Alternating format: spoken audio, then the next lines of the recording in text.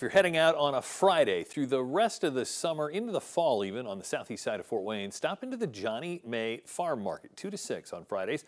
WANE 15 meteorologist Nathan Gidley is here to tell us more about it and how the weather is helping the growth of organic produce this year. Nathan? This neighborhood market is located at 2518 Winter Street. is a partnership between the City of Fort Wayne's Office of Housing and Neighborhood Services and the Allen County Purdue Extension Office. Now, kale and collards are their two most sold products. This time of the year, red, green, and cherry tomatoes are also available to purchase, along with a big crop of carrots, Swiss chard, squash, zucchini, and green beans. Now, all of these items come right from the garden behind the building.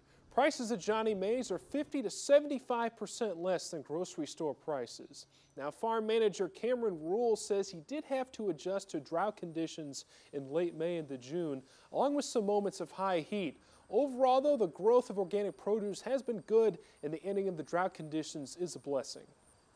We have an irrigation system out back that I've hooked up.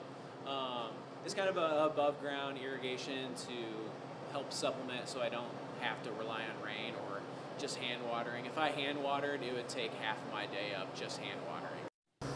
Now, Rule looks forward to the fall and appreciates the days with high temperatures in the 70s as the cool mornings actually helps the taste of collards and kale. The cooler weather makes them taste a little bit sweeter.